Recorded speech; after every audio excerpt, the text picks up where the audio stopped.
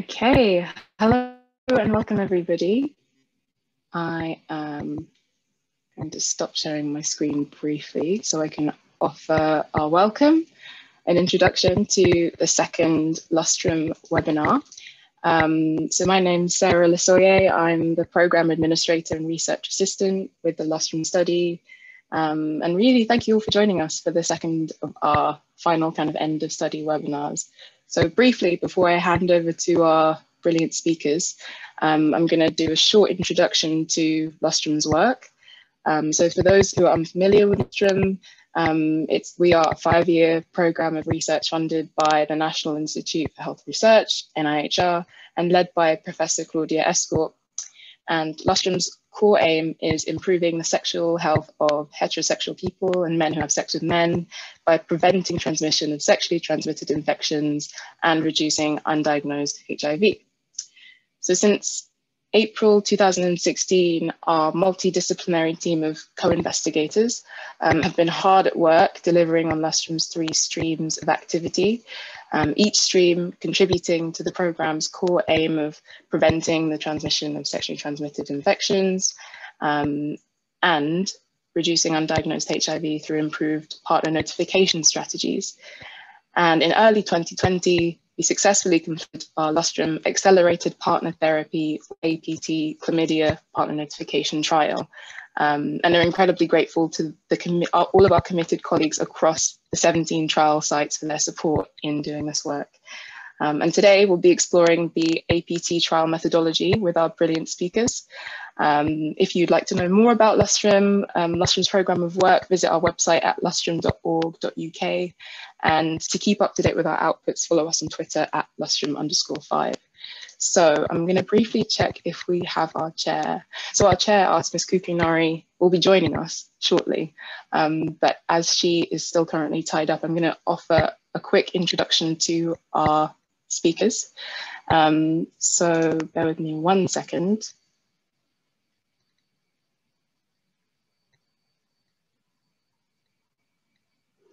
Great, so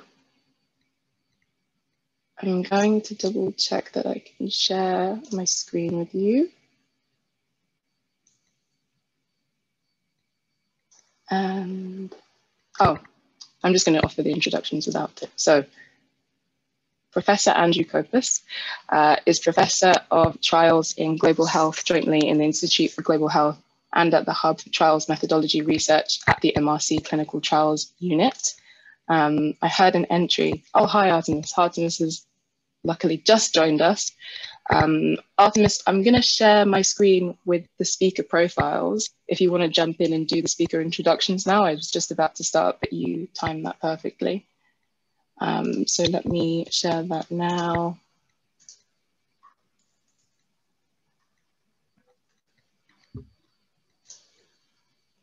apologies, one second.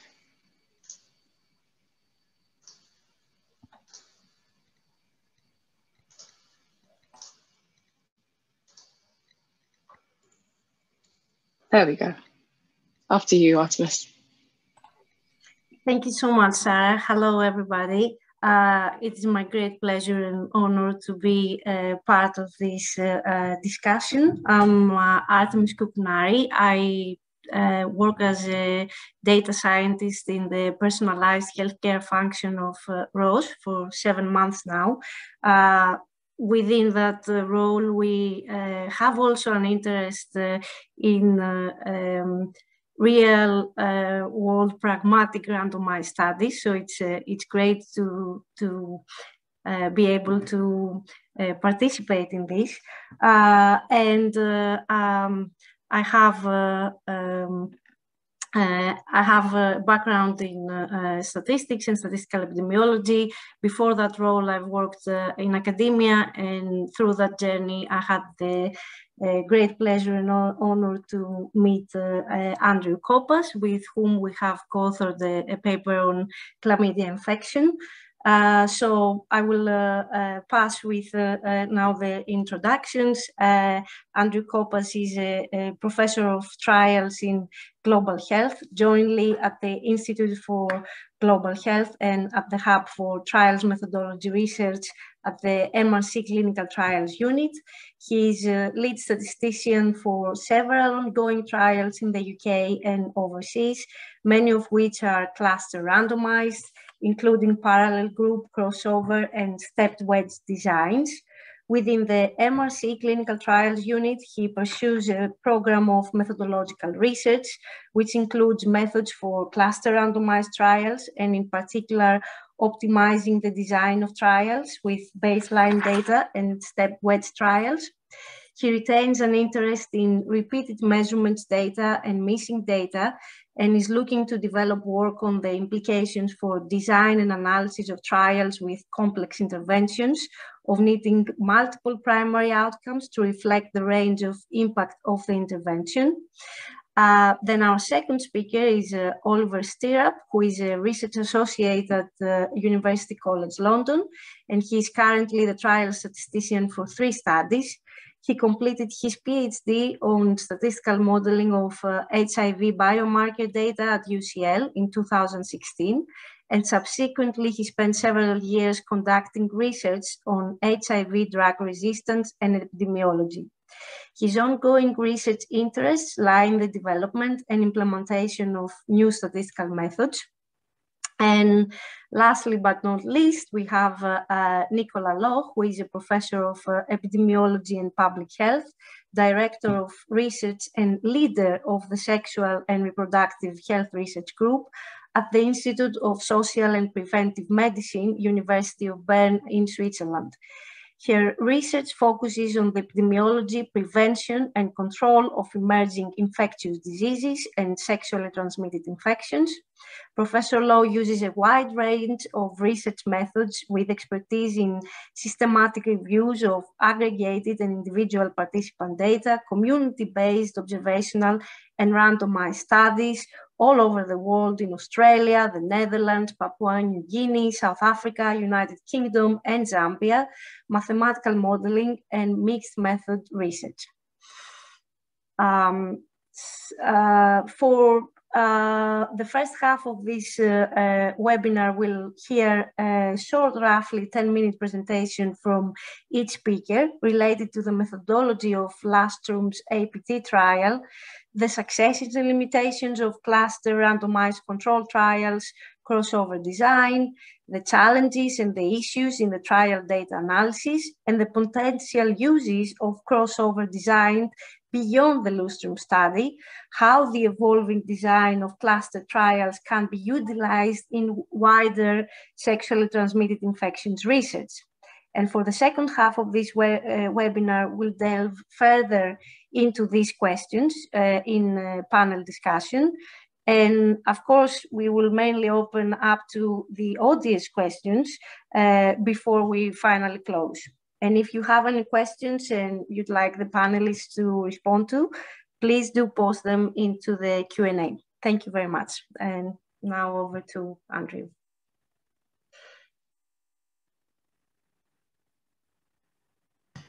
Thank you very much, Artemis. Uh, let me just share my screen.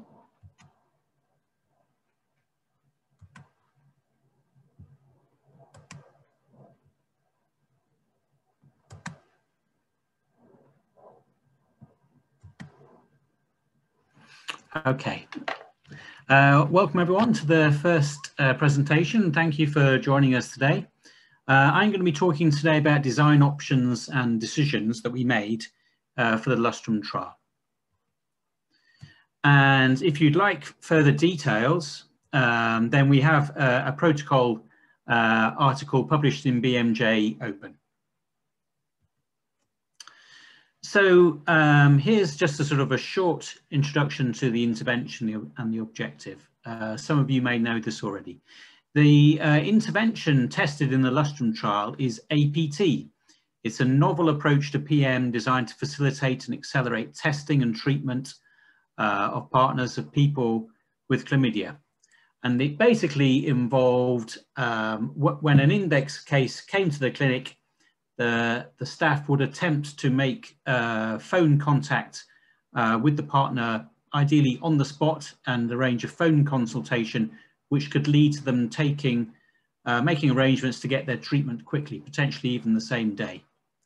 And it's important to note that APT was offered as an option in addition to routine partner notification. So this, it's still the routine options, all the other options are still there on the table. It's a choice made by the index patient.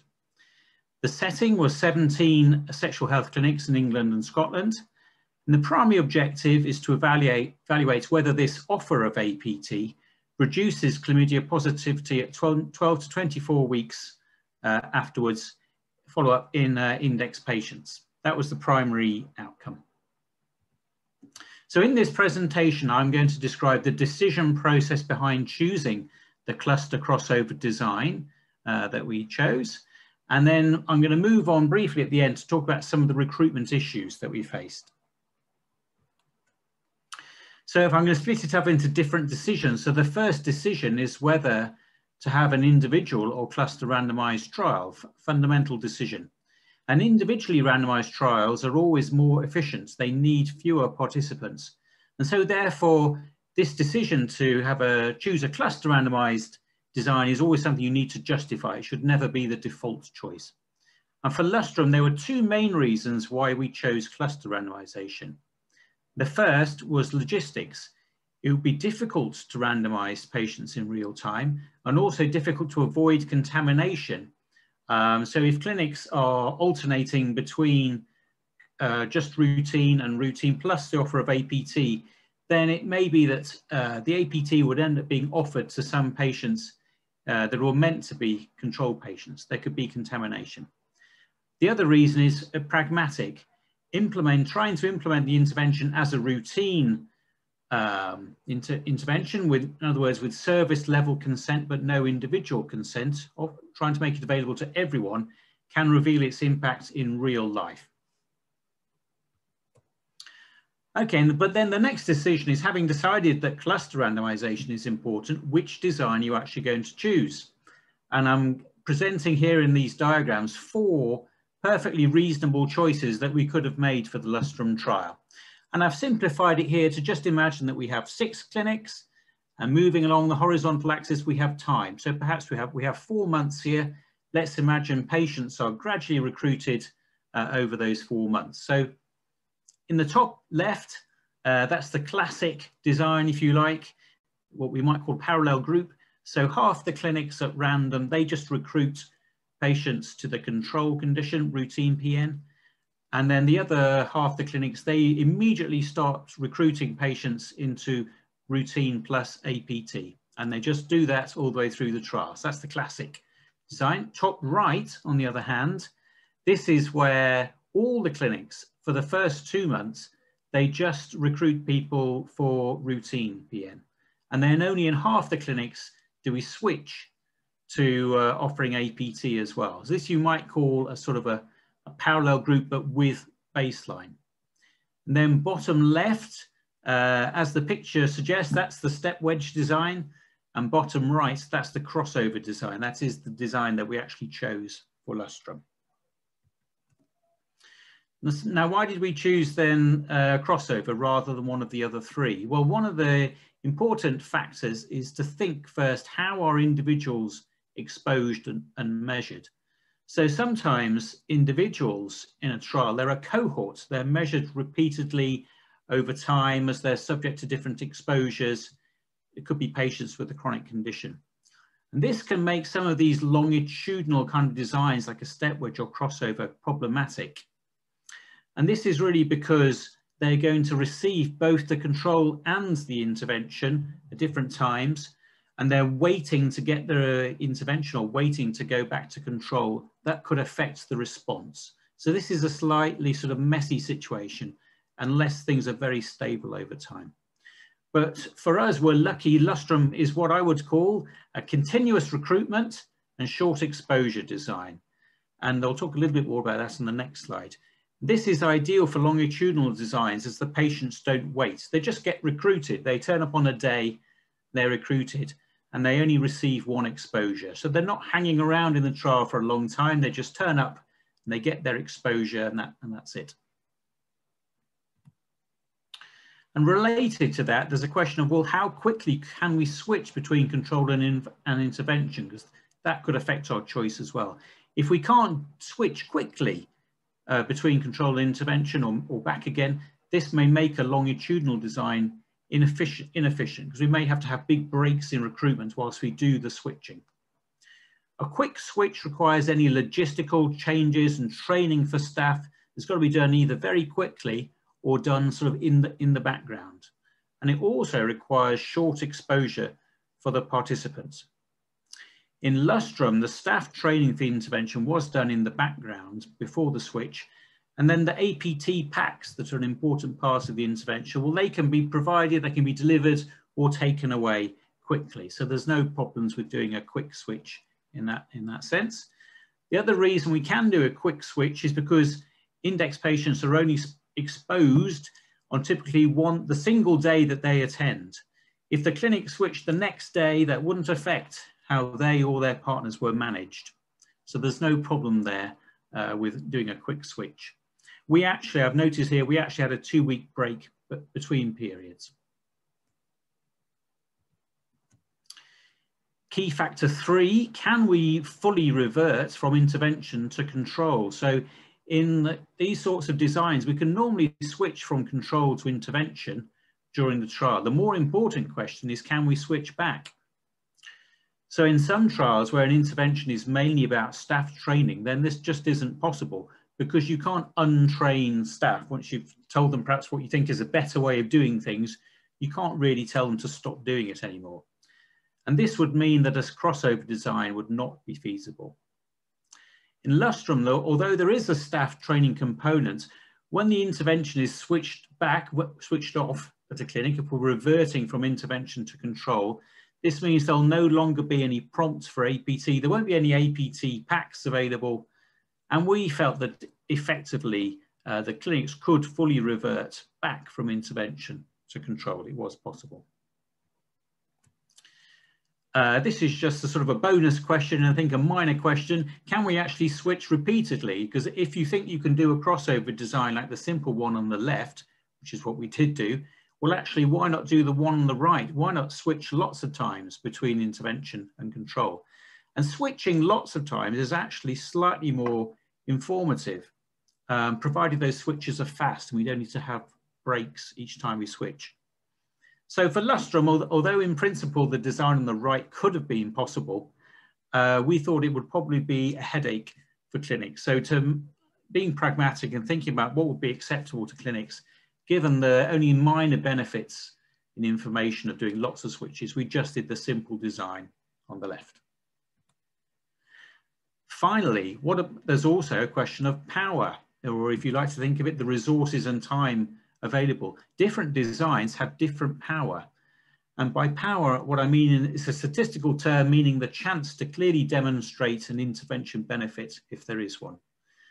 These longitudinal designs, like step wedge and cluster crossover, they're generally more powerful if the cluster size will be large.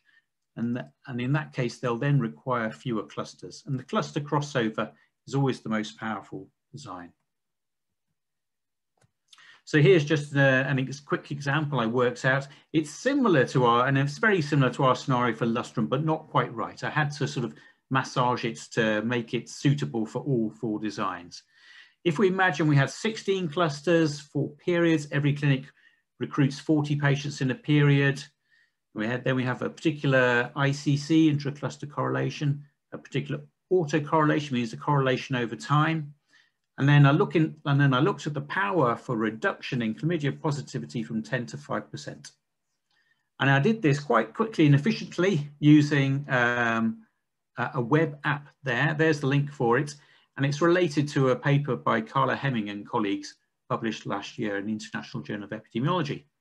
Anyway, the, the order then of power is what I would have expected when clinics recruit a large number of patients. We see the simple, the parallel design had 70% power.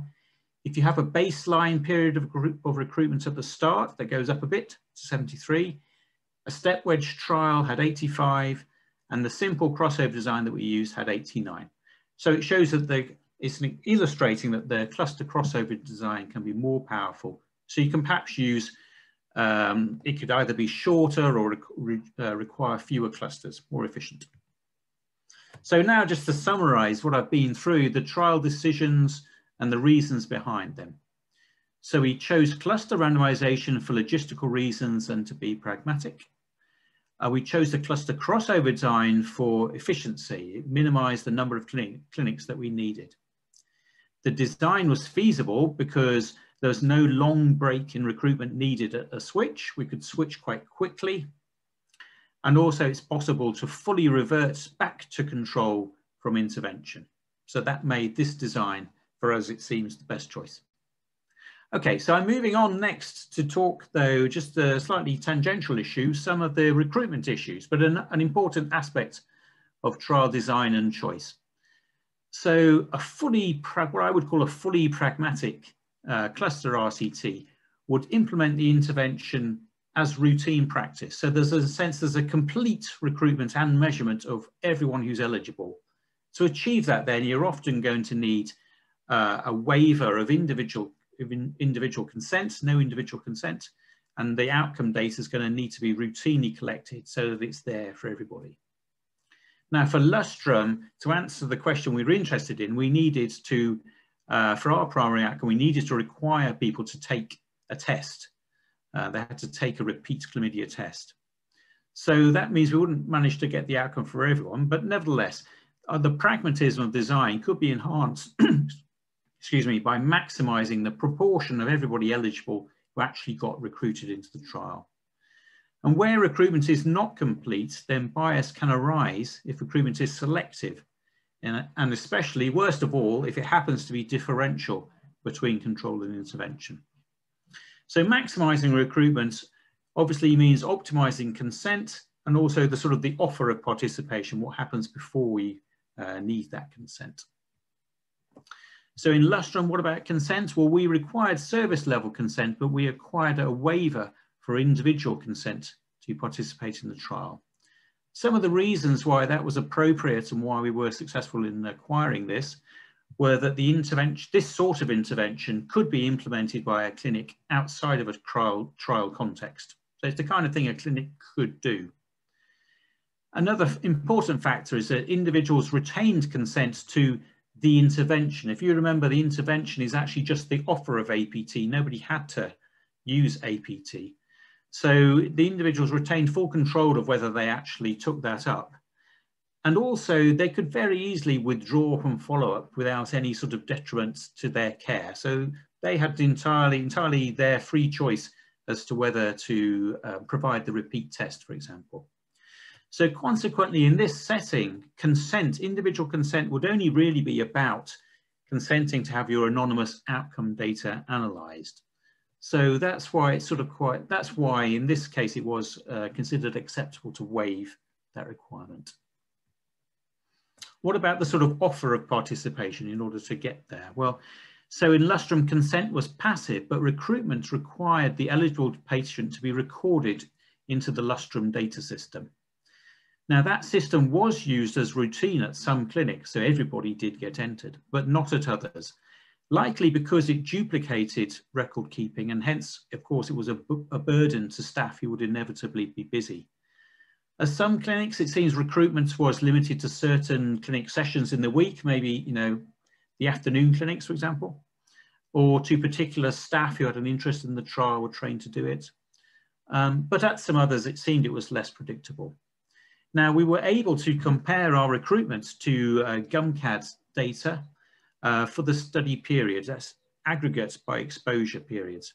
And that suggests that roughly one in five, across all the clinics, one in five eligible, eligible patients were recruited. Although this means that biased or selective recruitment is possible, we did note that it was roughly one in five recruited in both control and intervention phases. And we also noted little difference in the characteristics of those patients recruited to the two phases. So this data sort of does suggest little differential bias, happily. So conclusions. So I think for Lustrum, the cluster, cluster crossover design is an efficient design. It's a feasible design when we can switch back to control. And it is more efficient than the fashionable um, step wedge. I think step wedge is becoming a very popular design, becoming a default design of choice for some people. Uh, but it's important to remember cluster crossover is in fact more efficient. I think there are lessons to be learned for future cluster RCTs in similar settings, particularly around how best to manage recruitment.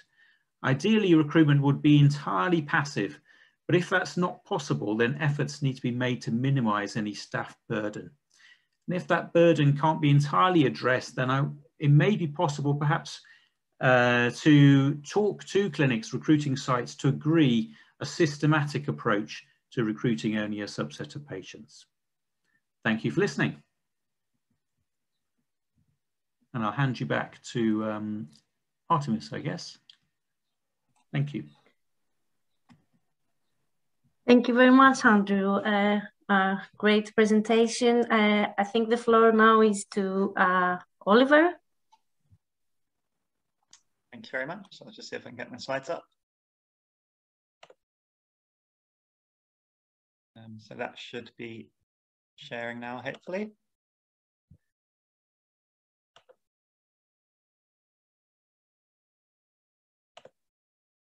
Um, so I'm going to be talking about some of the issues in the planning and implementation of the statistical analysis for the Lustrum trial. Um, and I'm going to start off by talking about the choice of analysis model for the primary outcome. So as Andrew has described, this was a crossover cluster trial. Um, and this leads to a hierarchical data structure, as I've illustrated here on this slide, um, so we have our index patients at the lowest level who are nested within intervention and control periods for each of the clinics. Um, and for the primary outcome for these index patients, we have a binary outcome of their repeat chlamydia test at 12 to 24 weeks of follow-up. Um, so the original Lustrum protocol specified the use of a mixed effects logistic regression model for the primary outcome, with fixed effects for the clinic and intervention condition together with a random effect for the clinic period. However, following an updated review of the technical methodological uh, literature regarding analysis of crossover trials with a binary outcome and some subsequent uh, simulation analyses, in the statistical analysis plan that was written prior to the conclusion of data collection, we instead specified a three-level mixed effects logistic regression model for the analysis of the primary outcome with nested random effects for the clinic and period.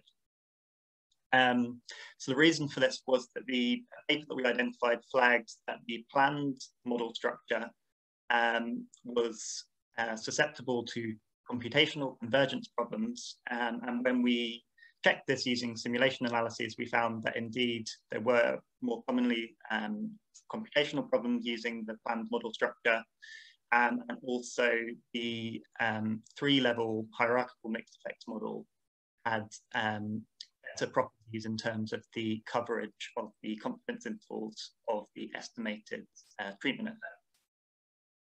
Um, so when I say that we used a three-level mixed effects model, what this means is that we're taking account into account in our analysis the fact that index patients nested within a certain period might have outcomes that are correlated with each other, um, and also that periods within certain clinics might also have outcomes similar to each other compared to a clinic period in a, in a different clinic.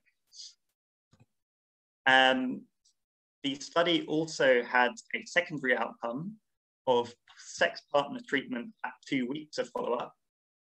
And so this adds an extra level to the hierarchical data structure. Um, so we have one or more sex partner for each of the index patients um, enrolled in the study, with these index patients again nested within either control or intervention periods, um, and with these peri periods nested within each of the clinics included within the study. Um, and so we deal with this by adding an extra layer to the mixed effects logistic regression model when analyzing um, the secondary outcome of sex partner treatment to account for the fact that the outcomes could be correlated um, within each of the index patients. So when it came to running these analysis models in practice, the planned models did converge without any problems. However, the computational time required was quite long using standard PEC. Um, so this is for running all of the analysis models for primary and secondary outcomes, but not including multiple imputation analyses.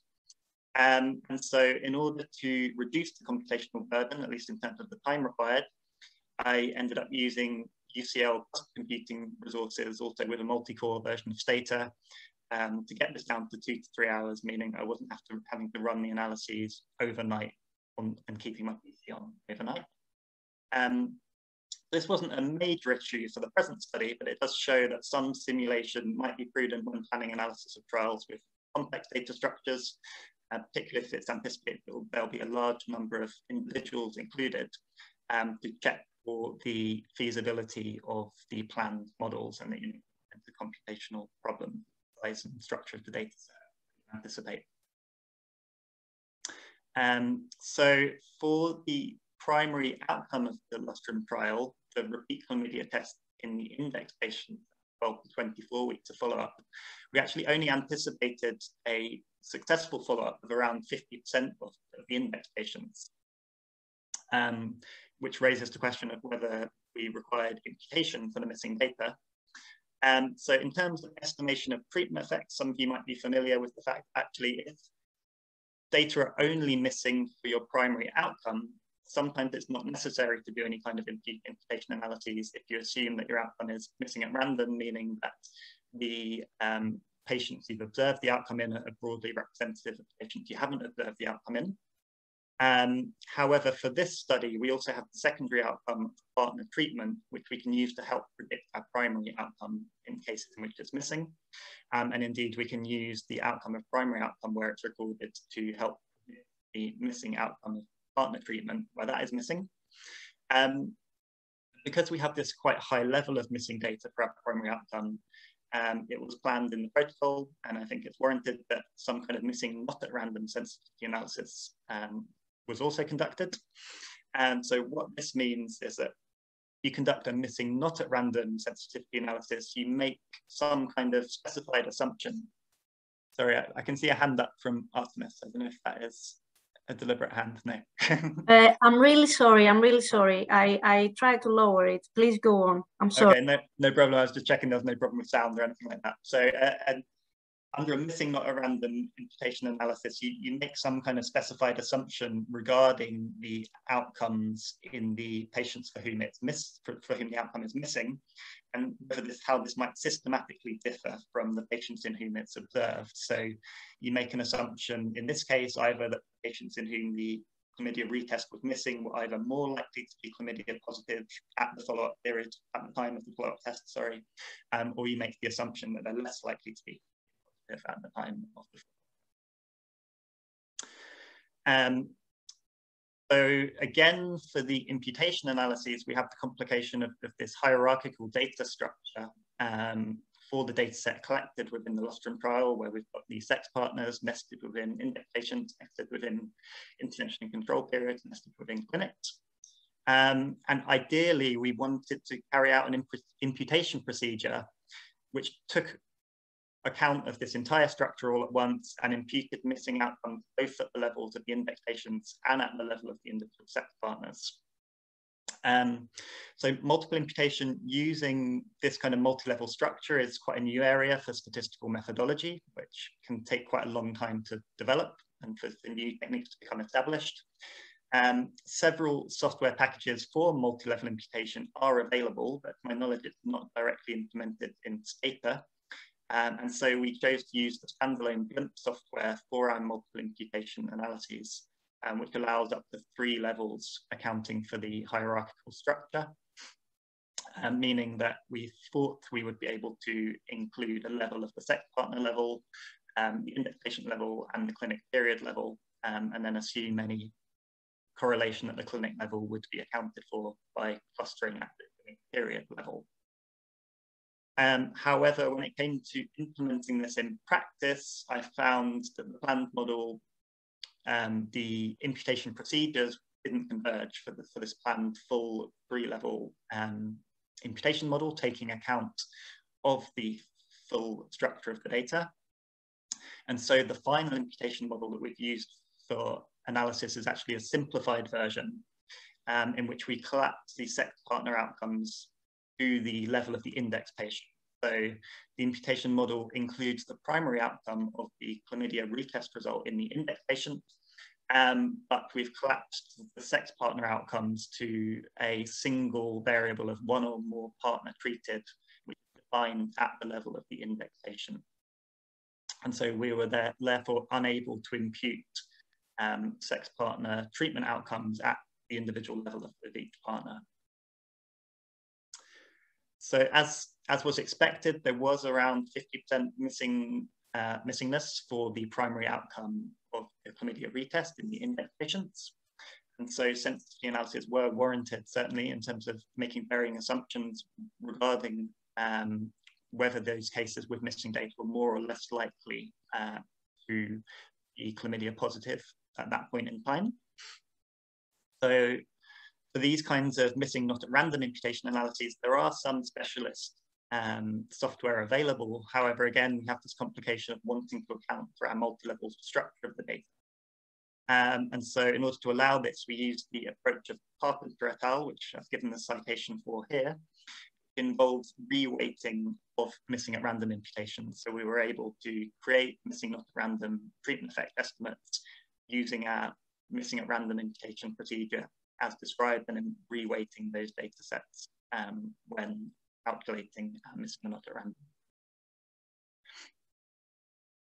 So I'm just bringing together some general conclusions here. Um, so I found that the optimal analysis model for cluster randomized trials may not be immediately obvious and that some simulation analyses might be required to check the performance and feasibility in specific um, trial situations. Multiple imputation analyses are also more challenging for cluster structured data and the software and theory for this area is still things that are under active development. Um, and I think that statistical analysis plans for data sets with complex structured data may require more flexibility or built-in contingencies to anticipate the potential for problems that may arise when applying the planned analyses to the final. So I'll now pass back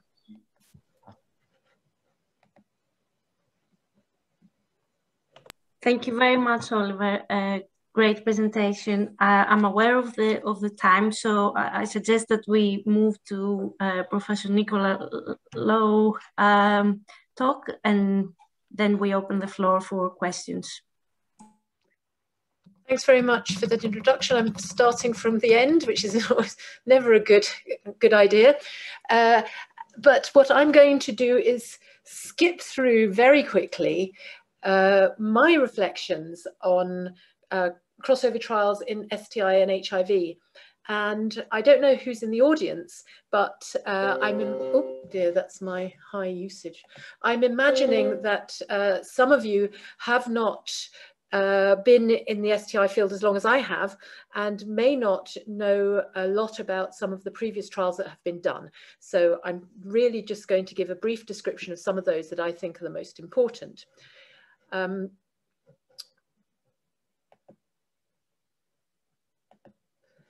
so of course the reason that we would want to do uh, these kind of uh, um, cluster trials for uh, STI outcomes is because, uh, as Andrew explained to you, in the um, if your outcome uh, is related to uh, sexual behavior and you're working within sexual networks, clearly you want to be able to deliver um, a, an outcome at a level that is going to um, uh, not be contaminated by people having um, uh, sex within their networks, but being individually allocated to an intervention or, or a control.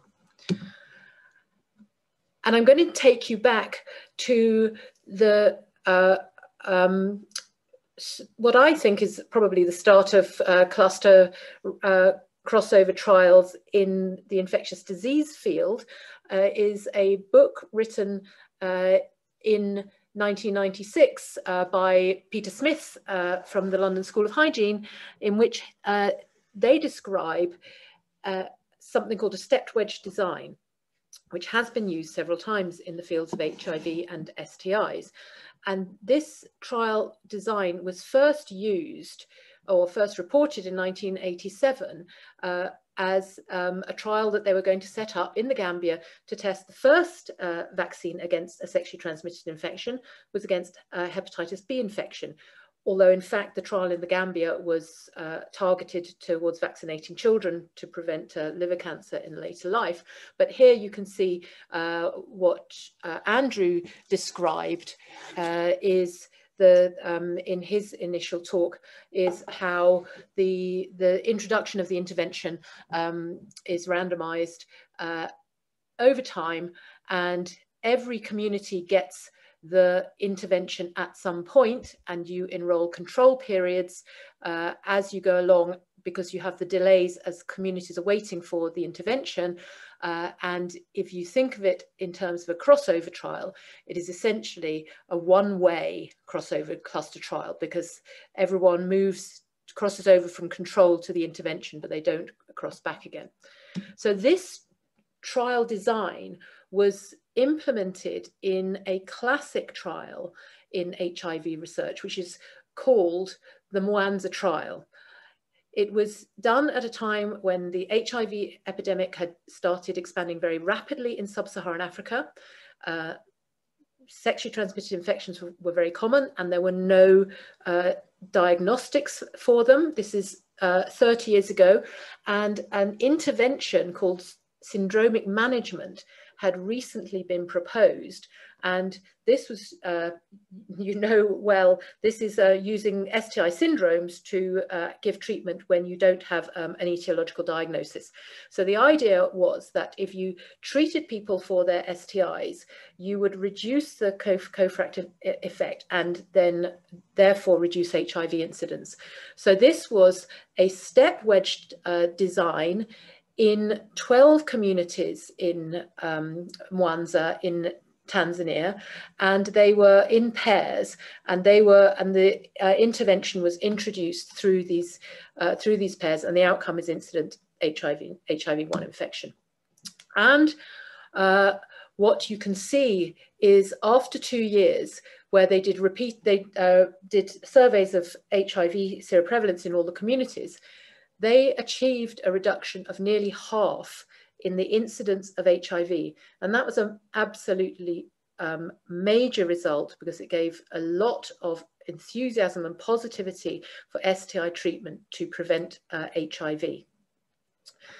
At around the same time that this trial was finishing, another trial was starting up in Rakai in southwest Uganda.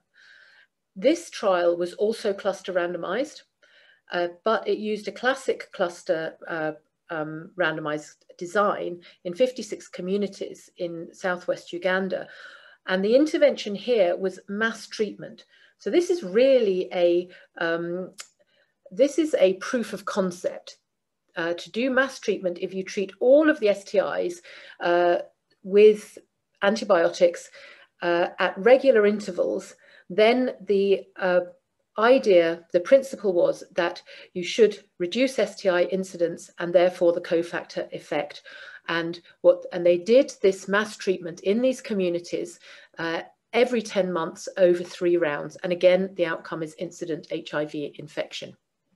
So the results of the Rakai trial showed, in contrast to those of the Mwanza trial, that the rate ratio for HIV infection was the same in the communities that received the mass treatment and the communities that had received usual care.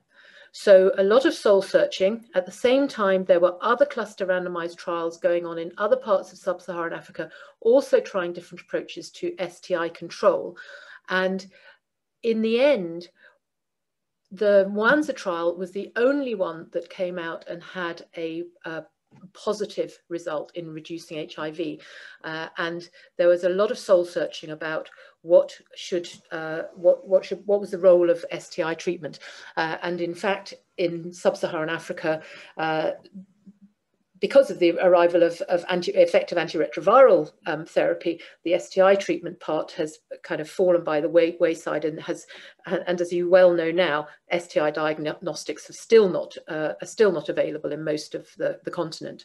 So the trial design itself did not go away uh, and was used in a trial in the Netherlands to look at the potential benefits of chlamydia screening, which uh, the hypothesis being that if you screen a large enough uh, proportion of the population uh, regularly enough, then you will be able to reduce both the incidence uh, and prevalence of chlamydia infection and its uh, reproductive tract uh, sequelae. So here is the, the picture that you can see showing what the stepped wedge design was. It was done with um, it, the, these communities in three parts of the Netherlands were also stratified by their level of risk for chlamydia, uh, and then they were randoms, randomized to uh, um, being to the in, introduction of the intervention, and there was a control uh, community that received uh, no chlamydia screening until the very last, um, until the very end of the trial. So they basically have a baseline prevalence result that was compared with the change in it should have been the change in prevalence in the intervention communities. What you can see from the results of the mass invitations to all, all young adults in these communities is that actually the uptake of this intervention was very low uh, and it went down after first, second and third uh, rounds, approximately uh, 10 months apart, uh, such that once again, the odds ratio for reduction in prevalence uh, in these communities that, that had multiple screening invita invitations compared to the control community was essentially uh, the same. So no um, impact there, but of course very low uptake. So the trial that I want to come on to to explain now is truly a, a cluster crossover trial. This is a trial uh, in Papua New Guinea and it's called the Women and Newborn Trial of Antenatal Interventions and Management. Uh, WANTAIM is a pidgin word meaning together uh, in Papua New Guinea. Uh, here you can see where Papua New Guinea is. We work in these uh, two places, one on the main uh, island in Madang and the other in uh, Kokopo in East New Britain. And if you don't know where Papua New Guinea is, Australia and Darwin and Cairns are somewhere down here and the rest of the world is to the left of the slide.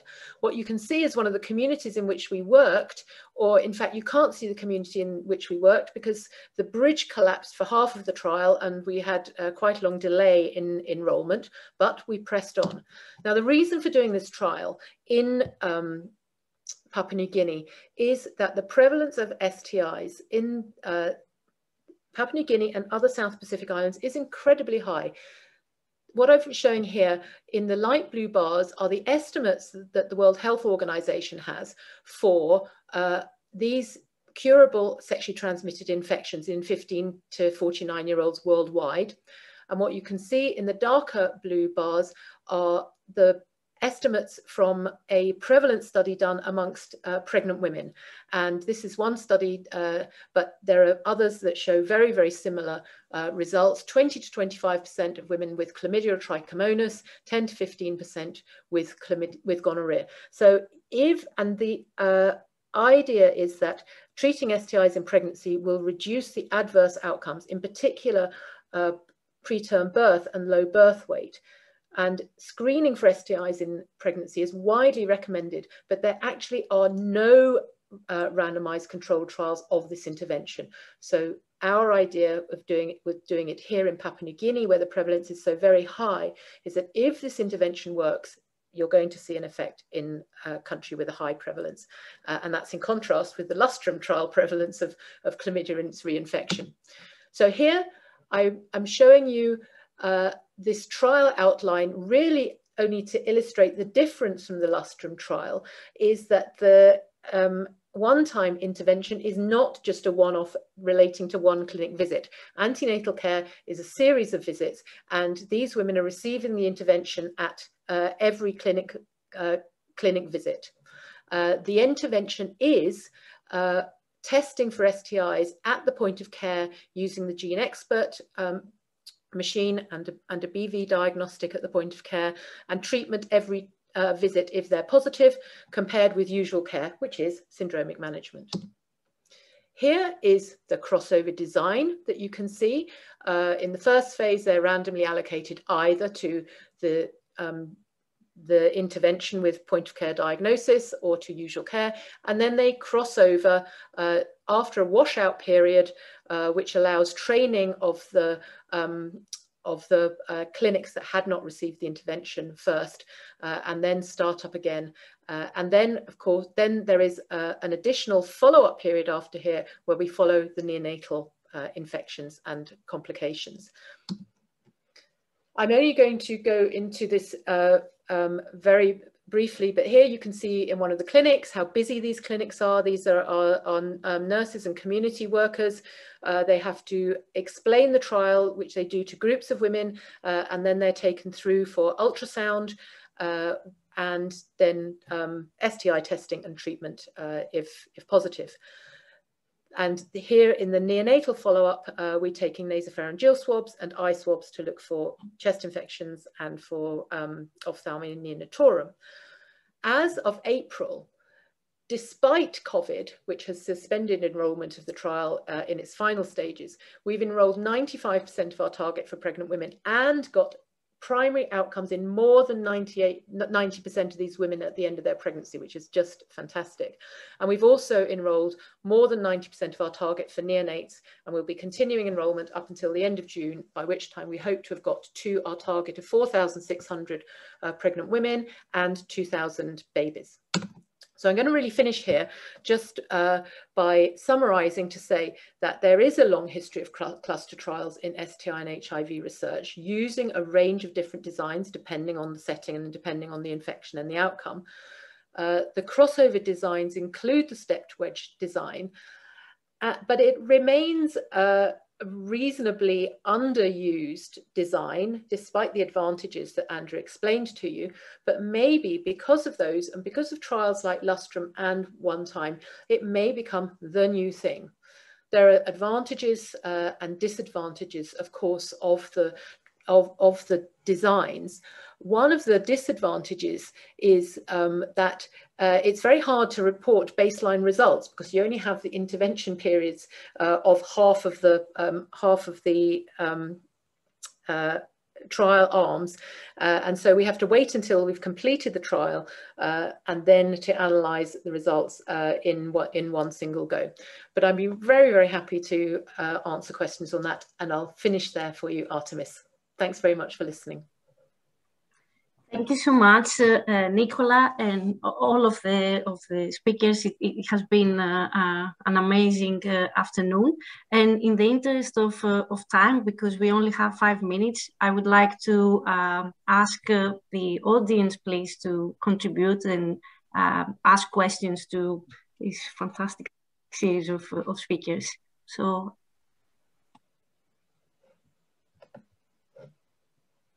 Any questions from the audience?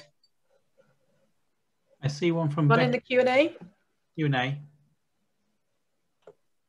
Yeah, just reading. Uh, yeah. So this is to Oliver. Uh, it was really interesting to hear about the analysis and all the challenges and complications you needed to address. Would you still recommend use of mixed effects models to others, analyzing cluster randomized crossover trials from Becky Turner?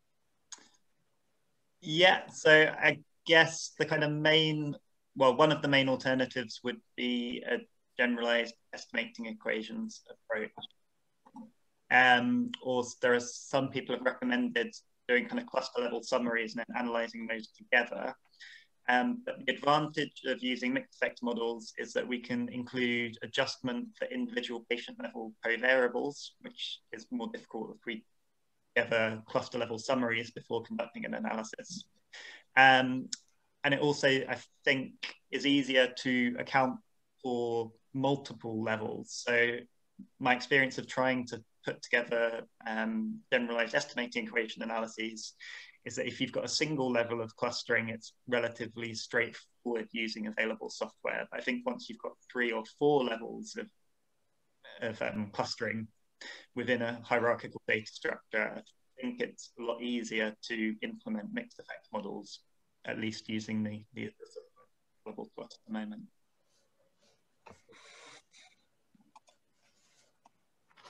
Great.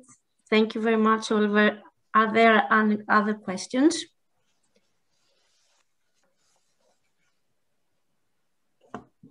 Um,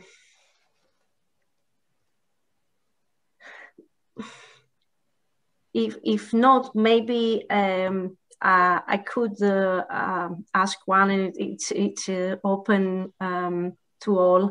Um, we heard that uh, the cluster crossover design uh, is more efficient. Um, would you recommend it? And we heard from Nicola on uh, very nice examples even for other infectious diseases. Would you would you recommend it in, in general for uh, even other infectious and possibly chronic diseases? And if so, what issues the trialists should be concentrating on based on your Lustrum experience? Do you want to start, Andrew? Yeah, I start, yeah. Uh, thank you, Artemis. That's a good question. Um, I, I, think, you know, as Nicola has shown, it, it has been used in a variety of settings. Um, you know, I've personally been involved with these sort of longitudinal type crossing forwards type designs, you know, in TB and so on. Um, particularly where there are clinic level policies, it's a very natural design. I think um, we shouldn't be influenced too much by fashion. We should always remember that if, if the intervention can be delivered at an individual level, then we really should start from that thinking that should be our default. Um, I think the arguments around pragmatism um, may be uh, overstated. I think we should think of individual randomized trials for individual interventions, interventions where possible. Um, I think the, the issue of which design, the um, I think as I alluded to in my talk, um, these crossover step wedge, they're, they're very good designs where people are, are, being gradually recruited so that each person really only gets one exposure. So at the end of the day, you've got a bunch of people who've had the control and a bunch of people who've had the intervention. It's very simple. And even with Nicola's um, WANTAIM trial, uh, there was the big sort of uh, washout period in the middle, but still, um, so in a sense, unlike Lustrum, you couldn't just switch in two weeks like we did. But but but still, um, the participants, as I understand it, they still receive just control or intervention. So I think those those are the settings where I feel quite comfortable with these designs where things switch. I think you've got to be very careful with sort of chronic disease settings where patients are going to actually receive both exposures in the trial. The, um, got to be very careful. You would think as default that their period of exposure in whichever one comes first, that is going to influence what happens afterwards, how they respond to the second exposure. So I think that's, I'd be really cautious. There will be times when it's okay, but I'd be really cautious about the, that kind of setting. I don't know if you had anything to add, Nicola. Uh, well, only to add that uh, you can say that individual allocation is a principle, but really, if you have people in sexual networks, uh, it's uh, it.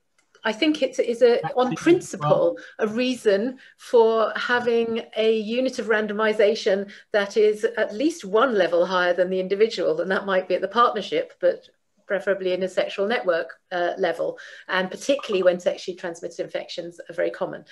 Um, the, I, I will I would like to just add one thing that about the um, the WANTAIM trial is that of it yes it is that really you know your antenatal care episode so that the the trials but the it, it means that you lengthen the period of intervention because pregnancy goes on for a long time and then you have, right. to follow up the the babies as well uh, but uh, one thing is about having these kinds of interventions, and it's the same is true of the step wedge intervention, is when everyone wants the intervention that it is a very good way of being equitable. So if you have a low resource country and you are offering a point of care diagnosis and treatment, uh, the fact that all of the clinics got an opportunity to use this point of care diagnostic uh, and then have a control period was actually very, very successful in helping to enroll uh, both women and uh, enroll clinics as well.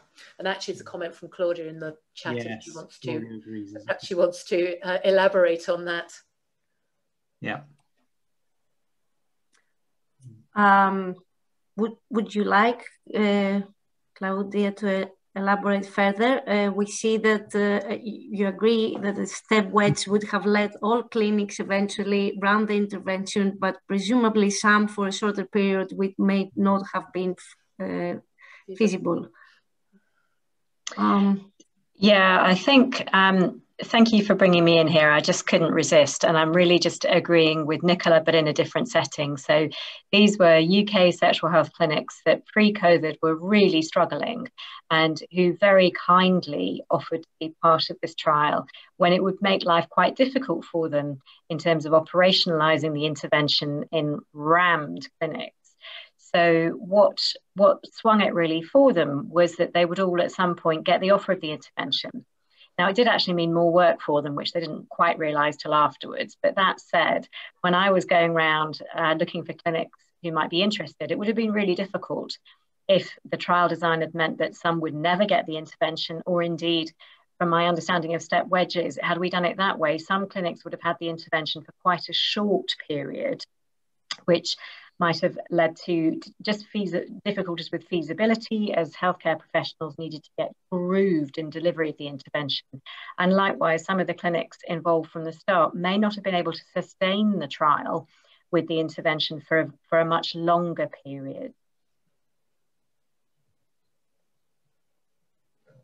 Great, thank you so much. Uh, it has been um, a really informative and interesting uh, uh, afternoon. I would like to ask uh, Sarah for the sake of all of us, I see this event is recorded. can we, um, can we, where will the link be available in the same place or um, how can we access yeah, so again? The recording is going to be available, yeah, on the Lustrum program YouTube channel. So as soon as this has been wrapped up, I'm going to post it on there and then share it via our Lustrum social media. So on Twitter at Lustrum underscore five. Um, but thank you so much, Artemis, for being an incredible chair. And thank you so much to Andrew, Oliver, and Nicola for all of your contributions. Um, it's been a really insightful conversation. And for me, as someone who has not the level of expertise in methodology and trial design as you all, I think it's really incredible to get all of that in one go. And Nicola, Final I just comments. really wanted, it was a very, very final uh, comment to say that the WANTAIM trial is of course not uh, initiated or run by me, who's run from the University of New South Wales uh, in, in Australia and the people who are working there in PNG, but I've been taking credit for it today. Thanks. No problem. Okay, that's good to clarify. Thank you so much. Um, and to all of you, thank you for coming. And we hope that you know you have a good rest of your week. Um, yeah, and this will be available on the Lustrum YouTube channel. So thank you all. Bye. Bye everyone. Bye bye.